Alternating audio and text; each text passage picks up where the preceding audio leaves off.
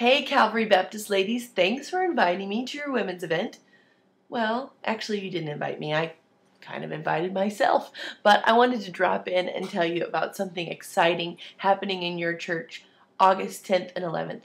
My name is Erin Davis, and I will be the speaker for the teen event, Graffiti Girls 2, that's happening right there where you're sitting right now. But it's exciting because this year it's not just for teens. I was in your church last year for Graffiti Girls 1, and God really moved in our midst. It was really exciting, and I'm thrilled to be invited back. But we want you to know there are several ways you can get involved this year. We're adding a component for women just like you. Uh, and Amy will be able to tell you more about that this weekend, where you can actually come and hear some of the same teachings I'm going to be telling the younger women in your church.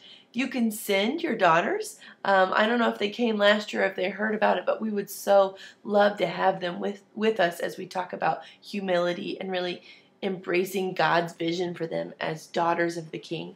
And the other way that I would just urge all of you to get involved is to pray. God really showed up last year, and, and I'm going to do my best to prepare um, lessons that are meaningful, and the small group leaders are going to be preparing, and we're going to be working hard.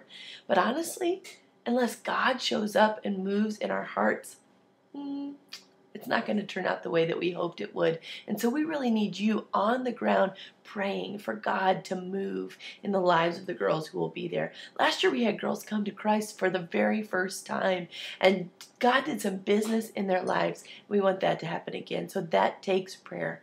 It's August 10th and 11th. Graffiti Girls 2. I'll be there. I'll have my coffee, and I hope you'll be there too. I'm praying that God blesses your socks off this weekend.